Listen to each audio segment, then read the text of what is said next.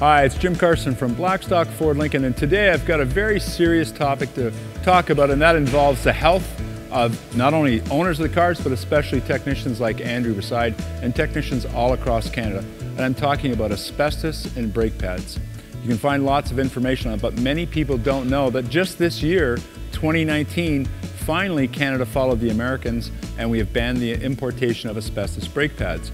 However, there are still a lot of brake pads in stock in suppliers that may find their way into the chain. It's very expensive to, to dispose of asbestos safely. It can't go in the landfills, and it's a concern that we have.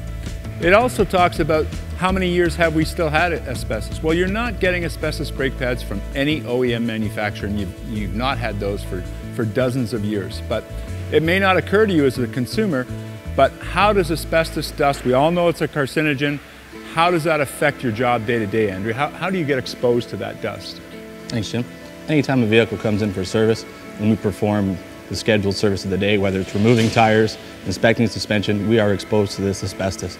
So any time that we can cut down on the exposure is greater for life. Well, it's here, we're, we're at near the end of August. We're coming up very soon to the winter tire changeover season. So just Correct. having your tires rotated that dust gets in the air? Yep. Yeah, anytime you take the wheels off, on the inside of the rim, there will be a, a coating of dust, and then it's on your hands, and anything you touch with your hands after that, it's on that. You're now exposed to many different items. Yeah, and there's, there's nobody who's going to doubt that asbestos isn't a well-known carcinogen, and, and, it's been banned in, in many instances.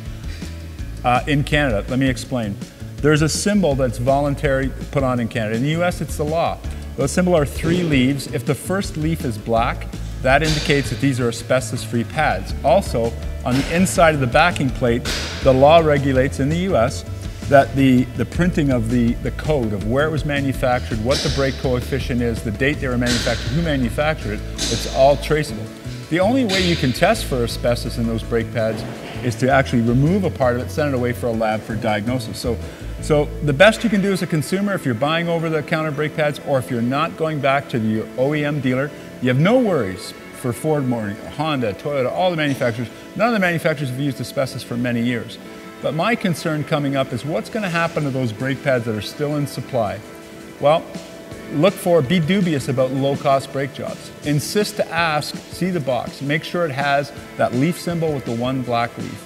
You don't want the asbestos dust blowing in your window either, but for technicians like Andrew here, they're exposed. When you come to the dealership and go to your dealership or go to your service center, if you feel you may have bought low-cost brake pads before, not directly from the OEM, and there's a chance that they could have asbestos, just tell us.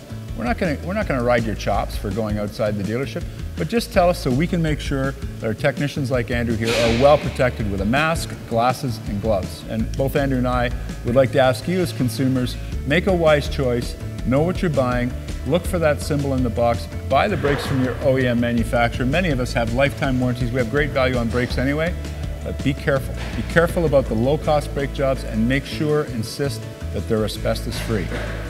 Well, Andrew, I want to thank you for joining me. Thanks for the help today. That's it for now. I'm Jim Carson from Blackstock Ford Lincoln in Orangeville, Quick Lane Tire and Auto Center in Orangeville, and thank you for watching.